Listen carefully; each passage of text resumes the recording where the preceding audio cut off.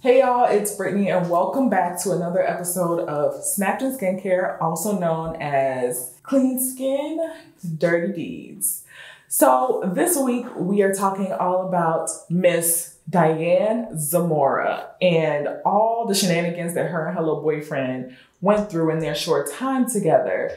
And it's a mess, y'all. So sit back, get your skincare, and relax, unwind with me, and let's talk about Miss Diane Zamora.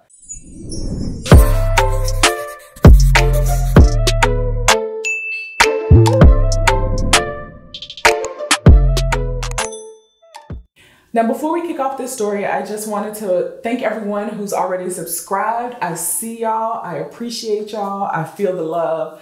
For those of you who have been around for a little while and haven't subscribed yet, or if you're just finding my channel, hey sis, hey sir, make sure you subscribe. You don't want to miss all of the great content that I have for you guys. Not only do I do skincare and true crime, I also do a little bit of makeup, a little wine and true crime. You know, I like to relax, clearly. But you don't want to miss what I have coming for y'all. Also, make sure you like the video. Make sure you comment in those comments down below.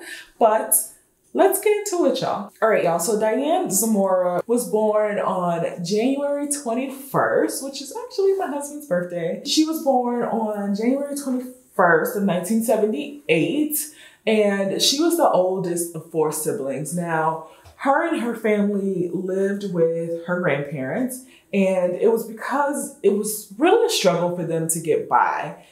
Her mom was a very hard worker and she worked multiple jobs. Her dad, on the other hand, had an extremely difficult time keeping a job. So the breadwinning was mostly placed on her mom. So it was just really tough for them.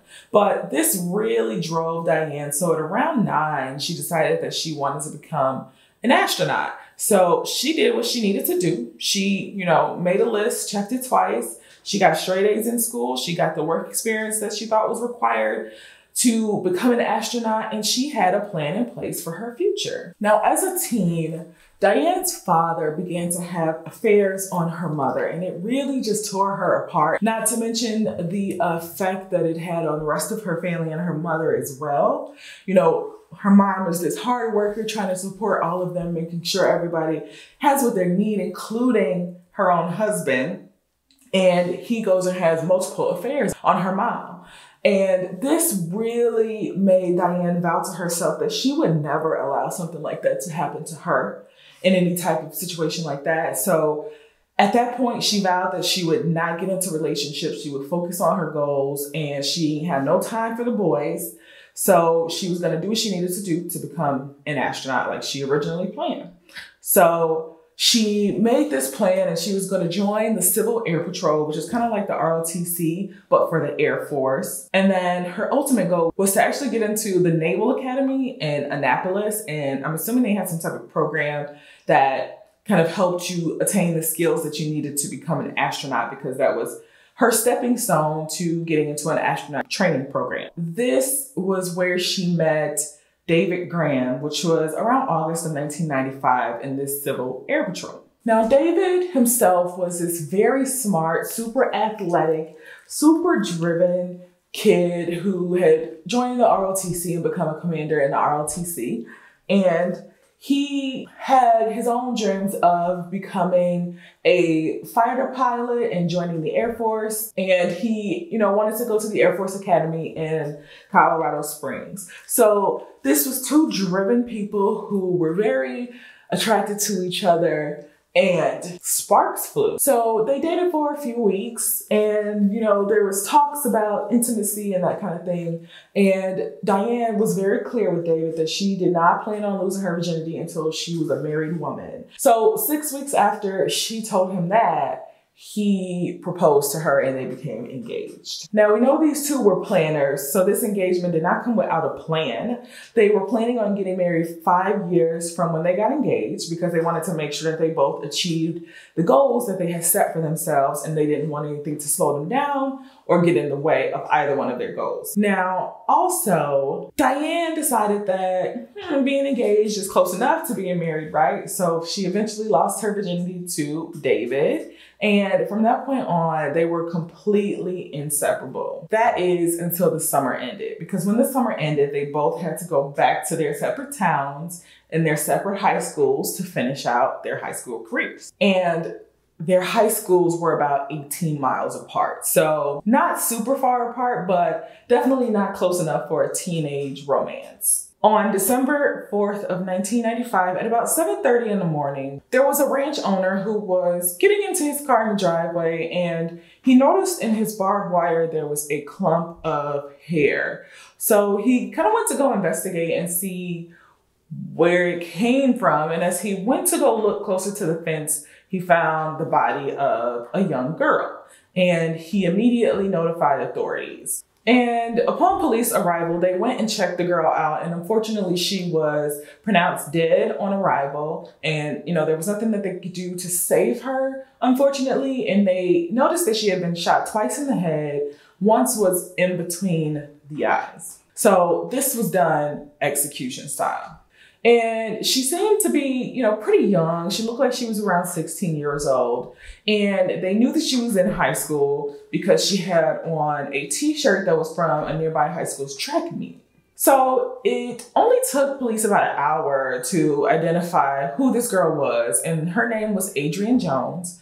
And she was a high school student. And her parents had actually just reported her as missing. She was 16 years old. Now, police immediately went to go talk to Adrianne's family, and they told the police straight up, you know, she's not gotten in any real trouble. She's generally a good girl. She has snuck out of her room a few times, but you know, teenagers do what teenagers do. And her brother had mentioned to police that he had noticed that she had actually snuck out of her bedroom window the night before to go meet someone, but he didn't have any idea who it was that she was going to meet.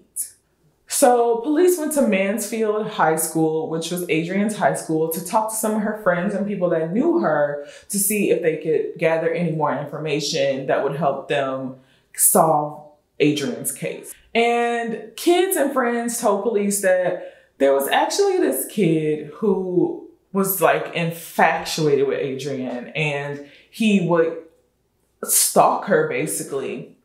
But he would even go up to her job and just sit and stare at her her entire shift while she was working. And the night that she had actually disappeared, he had called her and she didn't appreciate any of this. They all thought it was creepy. They thought the kid was creepy. And he was actually a 17 year old prior student that had recently dropped out of high school.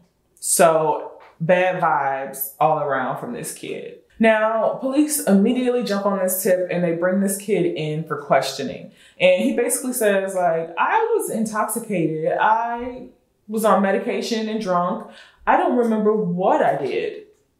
I can't help you. So, of course, his parents were present there as well, and police asked if he would take a lie detector test. His parents instantly said no.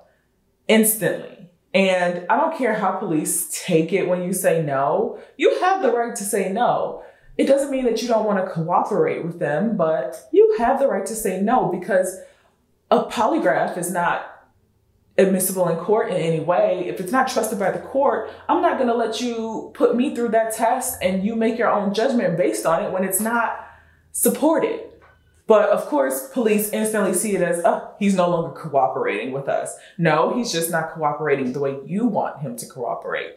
But he's done everything else and answered all your other questions. Either way, they instantly get a search warrant for this kid's home, truck, all of that and they arrest him while they, they're doing this search and they find absolutely nothing tying this kid to Adrianne's disappearance and murder. And the DA asked him again because they didn't find anything, would he take a lie detector test? This time the parents were like, you know what? Fine. We believe our son. If you want him to take a test, he'll take the test. This boy passed with flying colors. And instantly released after that. Now, on August 29th of 1996, police get a phone call from the Naval Academy. There is a Naval Academy officer who is trying to get in contact with police in the homicide department. And he wants to know if they have any unsolved case involving a teenager. And when the police say, as a matter of fact, we do, the Naval Academy officer has some tea for them. He says that he has two cadets, two female cadets in his office that are very disturbed because they have a roommate who has been telling them these stories and bragging to them that she has a boyfriend that loves her enough that he killed for her. This roommate is Diane Zamora. Now, this girl wasn't even on police's radar, but they go to the Naval Academy and they want to go and they want to talk directly to Diane. Now, when she talks to them in the beginning of September, when they fly out to the Naval Academy, she tells them, Oh, you know, I was just messing around, making up stories, goofing around with my roommates. Ha ha ha, it was a joke. I wasn't serious.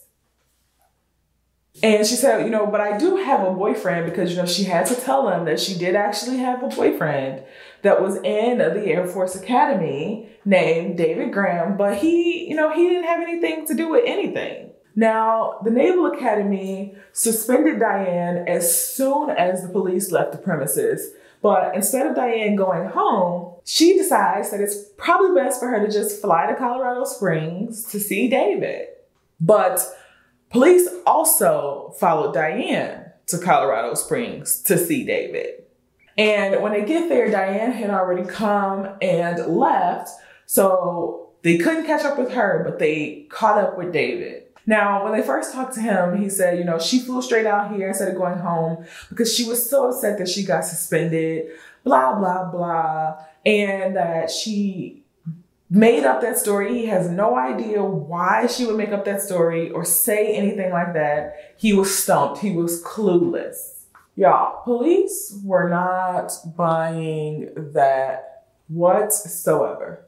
Not at all. So, what they do is they bring in David's commanding officer, and they have his commanding officer have a little chat with him to see if they can get him inspired to share more details on what actually happened. And it works. He comes around and he says, You know, I can't say it, but I'll type it all out. Now, he sat in that room and he typed for an hour and a half. And he started off about, you know, him and Diane's wild romance and how they fell head over heels for each other. But then there was this moment of betrayal in their relationship. And what he had to say was that he and Adrianne were both on the track team for their high school. They went to high school together. And she had asked him for a ride from one of the track meets one day. And instead of going straight home, dropping her off, they supposedly stopped behind an elementary school and had sex and went their separate ways. Now, he said he held this in and kept it from Diane for about a month, but then he couldn't hold it anymore. He felt so bad. So he felt like he had to tell her what happened. Now, when he broke the news to Diane, she didn't break up with him.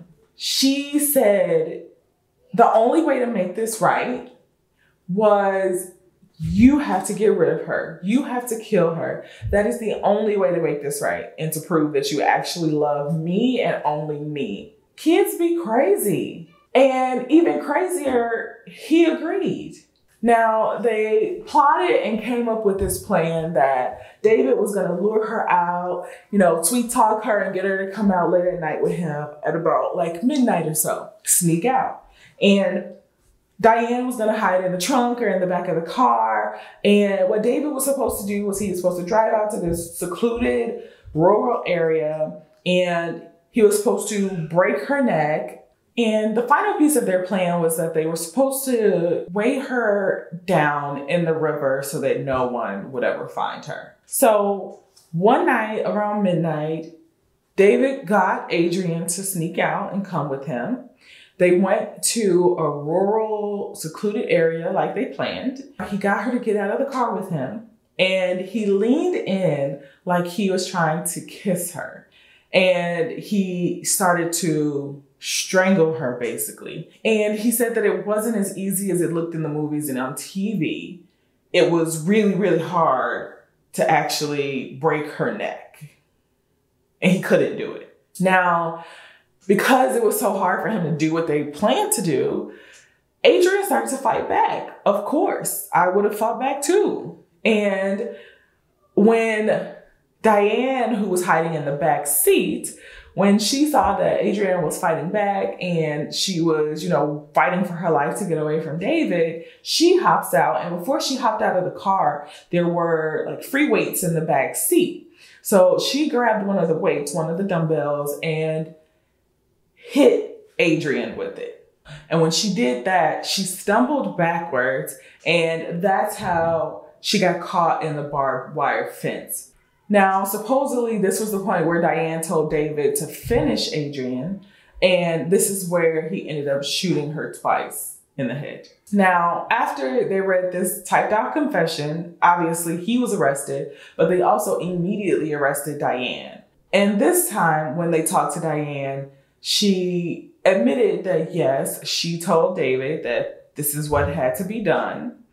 And she said it was because of the way she grew up and watching her father cheat on her mom repeatedly. And she had promised herself that she would never allow anything like that to happen to her. So the girl had to go. So at this point, both Diane and David are charged with capital murder, premeditated murder getting into the trial. So prosecutors basically said that Diane was the mastermind of this entire plan. And in her planner, she had actually circled the day that Adrianne actually died. Her defense claimed, on the other hand, that she was just, you know, a love struck, blinded teenager who was forced to do something that she didn't want to do, forced to be a part of something by a bigger, stronger male being David. And when Diane testified, she also said that David made her do it. But the jury didn't buy any of that. They convicted her of capital murder for the murder of Adrianne Jones. And she was facing a death penalty. By the grace of God, though, Adrianne's mother was the one who actually asked for mercy on behalf of Diane. I don't know that I could do that. But she did. She's a bigger woman than me. So Diane actually ended up getting life in prison. Now, six months later is when David's trial actually began. Now, his defense argued that David's confession, it was a false confession, and he had just given that confession to protect Diane, and it was all Diane who actually attacked Adrianne, and he wasn't even there at all. And when she attacked Adrianne and told him about it, he decided that he was going to confess to cover it up to protect her, which didn't make any sense because there's no way that she would have known who Adrianne was. And there's no way that Adrianne would have come out to meet her at midnight not knowing her. But it turns out that David was actually lying about something. It wasn't being there, but he was actually lying about even having sex at all with Adrianne. This is what started the whole mess in the first place. Prosecutor said that it never actually happened and he actually just made it up to make Diane mad. And there was witnesses, Adrianne's friends that testified that he never, David never drove her anywhere that night. He had never given her a ride home. So ultimately, David was also found guilty of capital murder and he was also sentenced to life in prison. Now, once they were, you know, tucked away in prison, David did say, Yes, yes, I did. I did kill Adrianne, but I only did it because Diane told me I had to. And Diane was still singing the same song of, Nope, didn't have anything to do with it. I was not a willing participant in this plan whatsoever. And things fell apart between them. They did not keep in touch with each other while in prison. So obviously they're not married, they're no longer together. And Diane actually ended up marrying another inmate in 2003. And they actually divorced in 2010. Now, both Diane and David will be up for parole in 2053. So their life sentences were with the possibility of parole. I just don't know about some of these kids, y'all. I just don't know. That is the story of Diane Zamora and this crazy teenager love thing do anything for love, prove that you love me, a whole bunch of BS because I'll be damned if my child ever pulls anything like that or is ever in a relationship where that is happening, where you need to prove that you love somebody. Stop it. I just wanted to share with you guys a couple of things on the skincare piece today. Obviously, today was a nighttime skincare routine and I have been outside doing yard work all day, so I was sweating balls. So I just felt nasty, yucky. So I took a very long shower and I love to take hot steaming showers because it really helps to open up my pores so that my skin better absorbs my skincare after taking a shower. So that's what I did today. And I really wanted to clean all my pores, and get all the sebum and the yucky dirt and grime and pollutants out of my skin today. So that was the goal. So the first thing that I did was I used my Dr. Brandt Pore Purifying Cleanser.